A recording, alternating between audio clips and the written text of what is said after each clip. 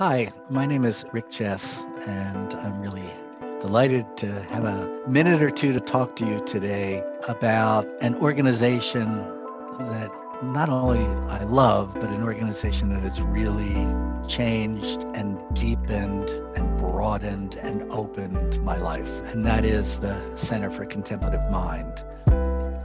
From the first minute of the first program that I attended, I felt for the first time in my academic life like I was able to bring my whole being to the community and to the work, whether it's by going to the Acme conference in the fall, whether it's um, attending a program, a webinar, um, or a workshop online, and there's such amazing programs, workshops, webinars being offered online, whether it's corresponding with, connecting with, communicating with the many people who have become my dearest friends who are members of the CMind community. Um, and it's when I come back to the CMind community that I recover that sense of wholeness that I can then draw on.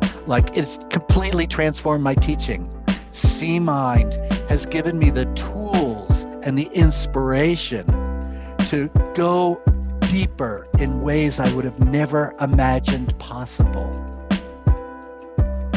How can you contribute to and help and support CMind? Really importantly, right now, today, you can donate. Whether it's $1, $100, or $1,000 or more, you can make a contribution that is indeed another way of acting on your convictions, your commitments, and your vision of a world that is made whole. Thank you for your time and attention. And thank you, CMind, for being the organization you are and the ways in which you're opening hearts and minds and transforming the world.